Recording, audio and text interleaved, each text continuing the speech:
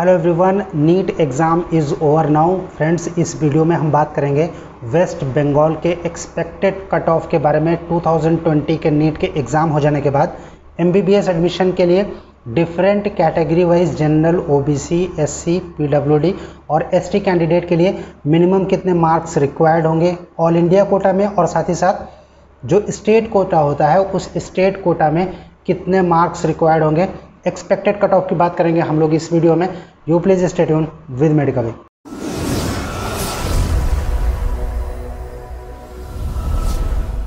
Hello and a grand welcome to all of you on your favorite need informative channel Medicoving. This is Amit and you are watching Medicoving's YouTube channel. Let's start the video and discuss about each and everything of West Bengal related to NEET 2020. How many colleges are there? How many total seats are there? How will be the counseling process and what is the expected cutoff for 2020 after NEET examination for different category let's have a look in this very short video so friend here is the complete detail of West Bengal related to NEET examination after NEET examination what will be the expected cutoff how many colleges are there let's have a look ये background में friends अभी जो आप देख रहे हैं this is the official website of M C I India dot O R G this is medical council of India की official website है। अगर आपको किसी भी कॉलेज के बारे में कोई भी जानकारी करनी है, कितनी सीट्स हैं, टोटल उस स्टेट में कितने नए कॉलेजेस ऐड हुए हैं, फ्रेंड्स, आपको विज़िट करना पड़ेगा M C I India dot O R G ये लेटेस्ट इन्फॉर्मेशन है आज की डेट का, यानी फिफ्टीन सेप्टेम्बर 2020 का, जब ये अपडेटेड है वेस्ट बंगाल की जितने भी कॉलेजेस हैं फ्रेंड्स यहाँ पे अगर आपको चेक करना है, आपको simply college and course search का एक ऑप्शन है, यहाँ पर जब आप क्लिक करेंगे, कुछ इस तरह से पेज आएगा आपके सामने। यहाँ पर आपको एम बी सेलेक्ट करना है और एम बी सेलेक्ट करने के बाद यहाँ पे गवर्नमेंट यहाँ पे वेस्ट बंगाल सेलेक्ट करना है। व्यू रिज़ल्ट पर जैसे ही क्लिक करेंगे फ्रेंड्स आपको कंप्लीट कॉलेज की लिस्ट आपके सामने आ जाएगी। टोटल अभी तक अपडेटेड फिफ्टीन सेप्टेम्बर टू तक 19 कॉलेजेस हैं। टोटल सीट अवेलेबल है एम के लिए तीन हज़ार पचास राइट अभी अगर आपको इन कॉलेजेस के बारे में पता करना है कि कौन से कॉलेज में फ़ीस कितनी है। देन फ्रेंड्स आपको विज़िट करना पड़ेगा M C C dot N I C dot in यानी यहाँ पे ये जो ऑफिशियल वेबसाइट है मेडिकल काउंसलिंग कमेटी काउंसलिंग यही वेबसाइट के थ्रू होती है। ऑल इंडिया काउंसलिंग में अगर आपको पार्टिसिपेट करना है, जो भी रिलेटेड इन्फॉर्मेशन होगी 2020 की वो इसी वेबसाइट पर आएगी और यहीं से हमें अंडर ग्रेजुएट मेडिकल काउंसलिंग का एक ऑप्शन आता है, वहाँ पर क्लिक करने के बाद कुछ इस तरह से पेज आता है। अगर यहाँ पे आप कंट्रोल फाइंड कर कर कोलकाता ही अगर आप टाइप करते हैं फ्रेंड्स ये देखिए हाईलाइट होकर कोलकाता आ जाता है। और यहाँ पे आप व्यू पे जैसे ही क्लिक करेंगे कॉलेज की complete detail all India quota की फ़ीस कितनी है बॉन्ड कंडीशन क्या है, क्या नहीं है, सारी डिटेल वहाँ पे इवन कॉलेज का जो कॉन्टैक्ट नंबर होता है नोडल ऑफिसर का जो नंबर होता है, वो भी शो हो जाता है। आप वहाँ से फ्यूचर रेफरेंस के लिए आप उसको यूज़ कर सकते हैं। सो वेबसाइट है एम ओके बात करेंगे वेस्ट बंगाल के जो काउंसलिंग अथॉरिटी है तो वो है friends West Bengal main computerised counselling e counselling और ये जो वेबसाइट है, उसका नाम है इन यानी वेस्ट बंगाल की अगर कोई भी काउंसलिंग रिलेटेड इन्फॉर्मेशन है तो फ्रेंड्स आपको यहाँ पर मिलेगी इन पर. Okay so this is the official website अगर आपको कोई भी डिटेल चाहिए, आप यहाँ पर विज़िट कर सकते हैं. Now talking about the cut off of West Bengal in two then friends दो लिस्ट मैं आप लोगों के साथ शेयर कर रहा हूँ। एक लिस्ट है ऑल इंडिया कोटा की ये आपके सामने है राइट 2019 में जो अलॉटमेंट हुआ था, वो ये उसकी लिस्ट है। यहाँ पर सारे कॉलेजेस के नाम है फ्रेंड्स आप देख सकते हैं। और ये एडमिशन कोटा कौन सा था? All India quota general S C S T O B C general और ओ बी सी में बहुत ज़्यादा अंतर नहीं होता है। पाँच से दस नंबर नीचे जा सकता है ओ बी सी इसीलिए हम उसको एक साथ इंक्लूड करके आप लोगों के सामने रख रहे हैं। खैर, अगर हम जनरल की बात करें सारे कॉलेज का जब हम एवरेज देखते हैं फ्रेंड्स 2019 का तो ये एवरेज निकल के आता है 596 जनरल कैंडिडेट के लिए। ओबीसी की अगर हम बात करेंगे देन ये थोड़ा सा पाँच नंबर या दस नंबर अगर नीचे में जाता है तो ये रहेगा पाँच सौ नब्बे के आसपास 2019 में। ओके ये 2019 में पाँच सौ नब्बे के आसपास था ओबीसी 596 एवरेज स्कोर है जनरल कैंडिडेट का 2019 का। ओके इसका मतलब कि इसके ऊपर भी एडमिशन हुआ है और इसके कम भी अगर मार्क्स थे तो भी एडमिशन हुआ है। जैसे कि यहाँ पर आप देख सकते हैं 588 पे एडमिशन हुआ है 584 पे 85 पे भी एडमिशन हुआ है। तो ये एवरेज स्कोर है ओके एससी का इसी तरह हमने स्कोर एवरेज निकाला है 487 और एसटी का निकाला है 461 okay this is the official document जो मिला था 2019 में जो अलॉटमेंट हुआ था। उससे रिलेटेड ये डॉक्यूमेंट है और मैं आप लोगों के साथ शेयर कर रहा हूँ। तो अगर हम जनरल या ओबीसी की बात करें फ्रेंड्स तो 2020 में क्योंकि पेपर इजी था 2019 के अकॉर्डिंग था। 1817 के मुकाबले अगर हम देखें तो पेपर काफ़ी इजी था 2020 का और इस केस में जो एक्सपेक्टेड है ऑल इंडिया कोटा के लिए, वो मार्क्स जाने वाला है अराउंड 595 यानी 590 या फिर 95 के आसपास। यानी अगर ऑल इंडिया कोटा में आप सीट चाहते हैं वेस्ट बंगाल में देन आपके मार्क्स होने चाहिए 590 के ऊपर जनरल कैटेगरी के लिए। ओबीसी के लिए ये मार्क्स पाँच नंबर कम हो सकते हैं 585 या 87 जा सकता है।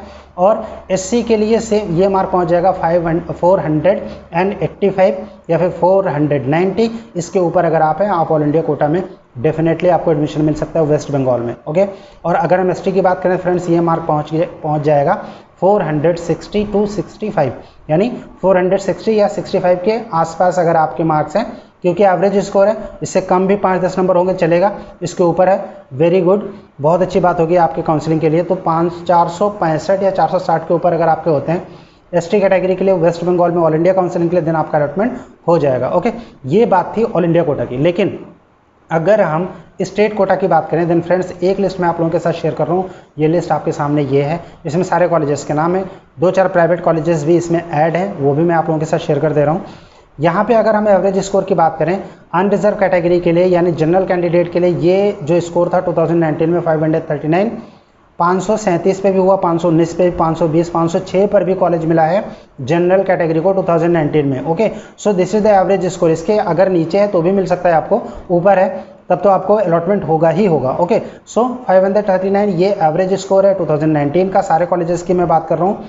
आप अगर सारे कॉलेजेस की काउंसलिंग में पार्टिसिपेट करते हैं तो फिर आपको, और आपके नंबर अगर 540 के ऊपर है नो डाउट आपको वेस्ट बंगाल में मेडिकल कॉलेज एमबीबीएस के लिए मिल जाएगा राइट सो ये बात थी जनरल कैंडिडेट की, लेकिन अगर हम एससी में सेम चीज़ देखें देन एससी में फ्रेंड्स ये पहुँच जाएगा 410 यानी 410 405 इसके ऊपर अगर आपके नंबर है, आप एस कैटेगरी से बिलोंग करते हैं। स्टेट काउंसलिंग में आप पार्टिसिपेट करना चाहते हैं, गवर्नमेंट की एक सीट चाहते हैं एमबीबीएस की, वेस्ट बंगाल में, आपके नंबर अगर 410 के ऊपर है, no doubt friends will be getting a seat in West Bengal okay बात एसटी की एसटी में फ्रेंड्स, ये मार्क बहुत नीचे हो जाएगा, ये डाउन हो जाएगा टू में भी, क्योंकि 2019 में जो एवरेज स्कोर था, ये था 210 और इस केस में अगर आपके मार्क 210 220 के ऊपर है very good. You will be getting a seat in west bengal if you belongs to st category OBC के लिए ओबीसी के लिए फ्रेंड्स ये देखिए आपके सामने लिस्ट है पाँच सौ सैंतीस नंबर पाँच सौ सैंतीस नंबर है फाइव हंड्रेड थर्टी सेवन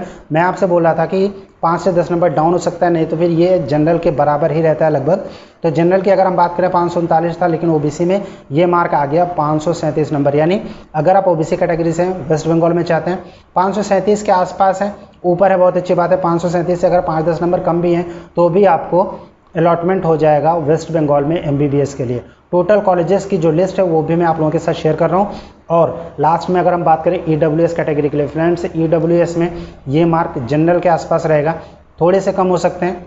यहाँ पर अगर आप एवरेज मार्क देखें तो ई डब्ल्यू का 521 है। यानी 515 520 के ऊपर अगर आपके नंबर आते हैं नीट 2020 में वेस्ट बंगाल आप जनरल ईडब्ल्यूएस कैटेगरी से बिलोंग करते हैं. No doubt you will be getting a chance in MBBS in West Bengal okay बात करेंगे फ्रेंड्स पीडब्ल्यूडी कैटेगरी की. तो पीडब्ल्यूडी कैटेगरी के लिए मैं आपको बता दूँ, जो कट ऑफ़ जाता है, वो हमेशा बहुत ही डाउन जाता है as compare to general candidate and other categories because PWD के कैंडिडेट्स के जितने भी स्टूडेंट होते हैं, उनके नंबर्स कम होते हैं.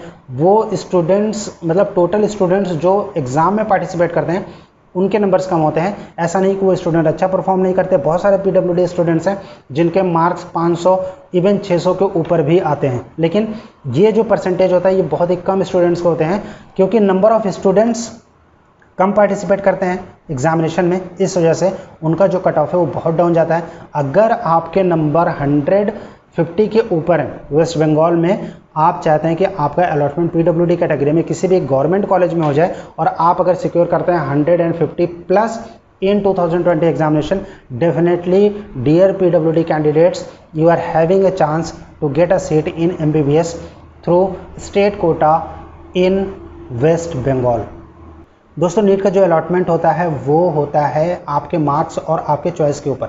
आपके मार्क्स बहुत अच्छे हैं, लेकिन आपने चॉइस ठीक तरीके से लॉक नहीं किया, आपको कॉलेज अलॉट नहीं होगा। तो यहाँ पर एक प्रॉब्लम आपको रिज़ल्ट के बाद ये आएगी कि, सर, कौन सा कॉलेज लॉक करना है? कैसे लॉक करना है? प्रेफरेंस क्या होना चाहिए? कौन सा कॉलेज की रैंकिंग वन है, किसकी दो है, किसकी थ्री है? और क्या सीक्वेंस होना चाहिए कॉलेज को लॉक करने का? देन फ्रेंड्स मेडिकल विंग की ओर से एक हेल्पलाइन नंबर इशू होगा आप लोगों के लिए। एक पेड काउंसलिंग भी इशू होगी। आप पेड काउंसलिंग करा सकते हैं मेडिकल विंग के, जो एक्सपर्ट टीम है उनसे।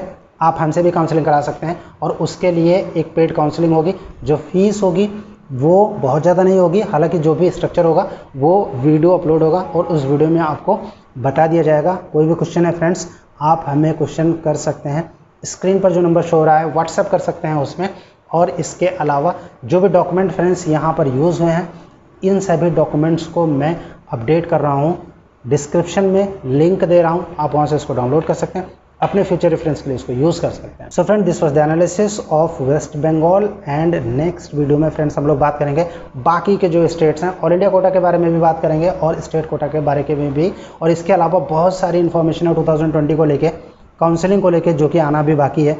हम ये सारी इन्फॉर्मेशन आप लोगों के लिए अपडेट करेंगे regularly you please stay tune with Med Caving तो दोस्तों, कैसे लगे आपको हमारी वीडियो अगर ये वीडियो फ्रेंड्स आपको पसंद आता है तो इसे शेयर कीजिए लाइक कीजिए हमारे कंटेंट को। चैनल को सब्सक्राइब करना मत भूलिए। अगर आप चैनल पर बिल्कुल नए हैं तो ताकि फ्यूचर के जो अपडेट्स हैं, नीट 2020 और 2021 को लेके वो आपको नॉन स्टॉप मिलते रहेंगे। Thank you for watching Med Caving thanks a lot